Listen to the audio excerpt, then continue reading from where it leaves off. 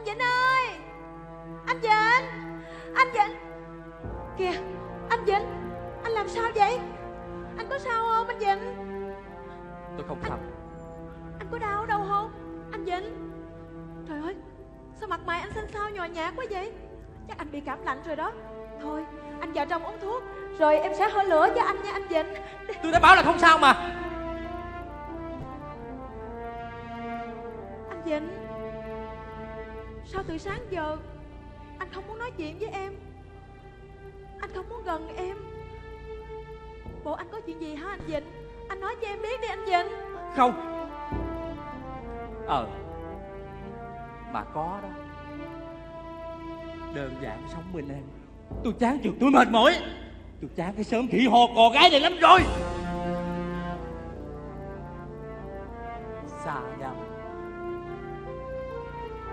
Phải xa nhau thôi. Anh vinh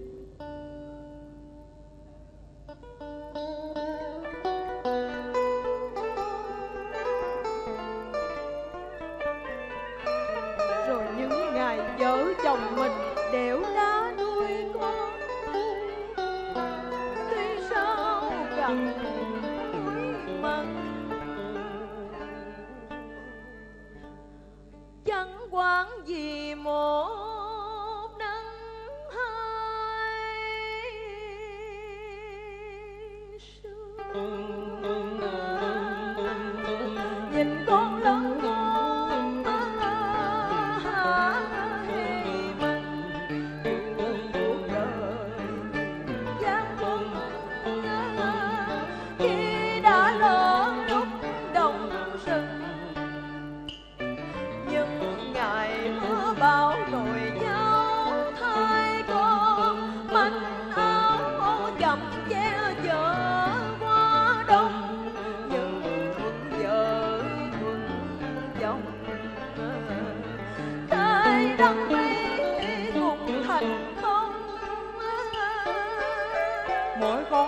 Trái mỗi cách khác riêng mình.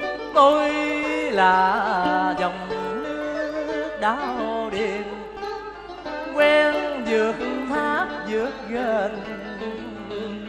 Không thể yên liềm trôi xuôi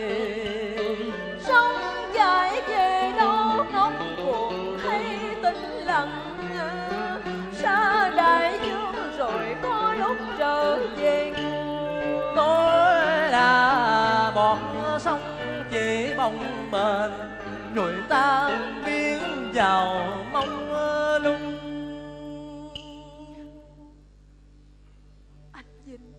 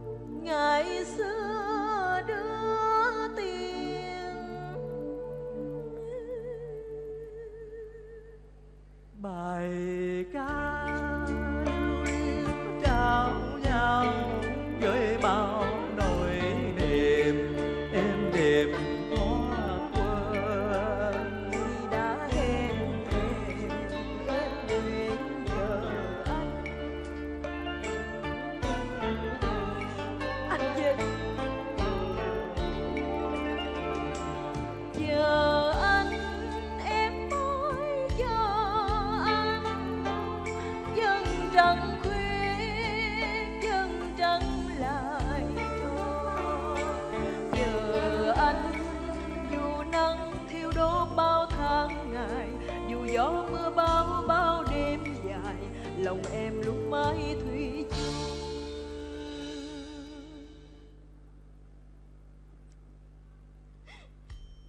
Không không. Đừng đợi đừng chờ gì tôi hết. Không anh Vĩnh ơi anh đừng có bỏ em mà anh xa kìa. nhau. Mình phải xa nhau thôi thanh ơi. Không em không thể nào sống mà thiếu anh được đâu anh Vĩnh ơi. Nhất định mình phải xa nhau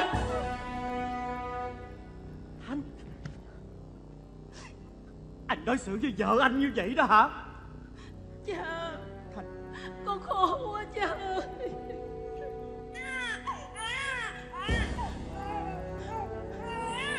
Thanh ơi Con vào trong đi Để cho cha nói chuyện